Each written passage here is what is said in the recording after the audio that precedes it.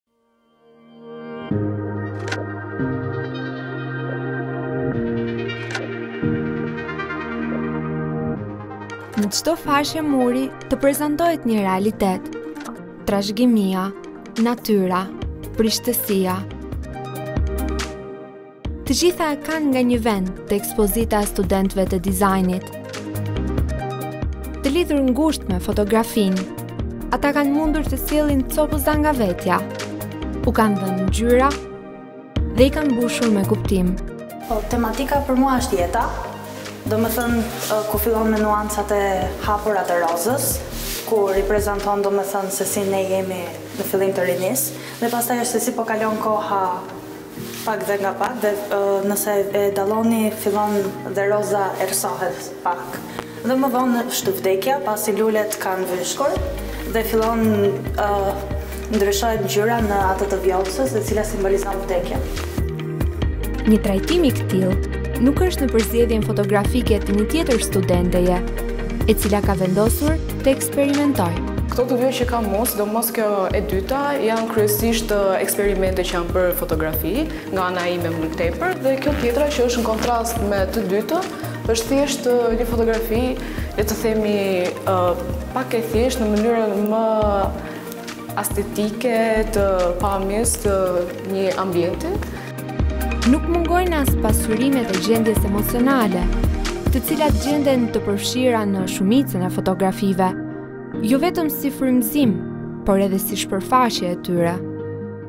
Pjesa që jam frymëzuar më shumë ka qenë në emocionet e mia në atë lloj periudhe, Për shembull, fotografitë janë shkrepur në periudhën e shtator-tetorit, e cila është pjesa që të gjithë jemi pak më të mërzitur, pak më, si të them, emocionalisht më të ulët për shkak të motit. Në qoftë se shohim fotografi mund të shohim që kanë një ashpërsi brenda tyre, kanë një ndjesi të ftohtë.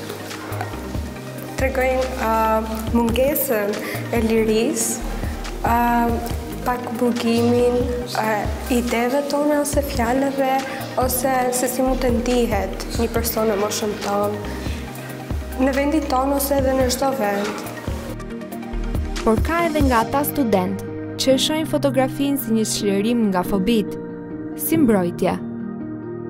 Libri dhe fotoja këtu jam frymëzuar nga pjesa që unë kam shumë fobi nga deti dhe janë të dyja kjo është një guaskë dhe këtu janë hijet e dorës time që e vendos dhe e heq guaskën është si një masë që më mbron mua kur mund të futem brenda në det e kështu për të mposhtur fobitë që unë kam.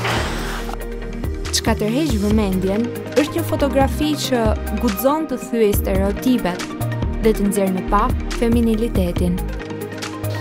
Kam dash të paraqes pak më shumë pjesën e nuditetit, anën më të brishtë të femrës. Gjithashtu kam dash të paraqet e tatuajit e mija pse jo. Këtu në Shqipëri gjykojnë shumë, sidomos femrat që kanë tatuazhe, edhe kam dash që ta thyej pak atë mentalitetin. Kjo ka qenë pak a shumë ideja, domethënë.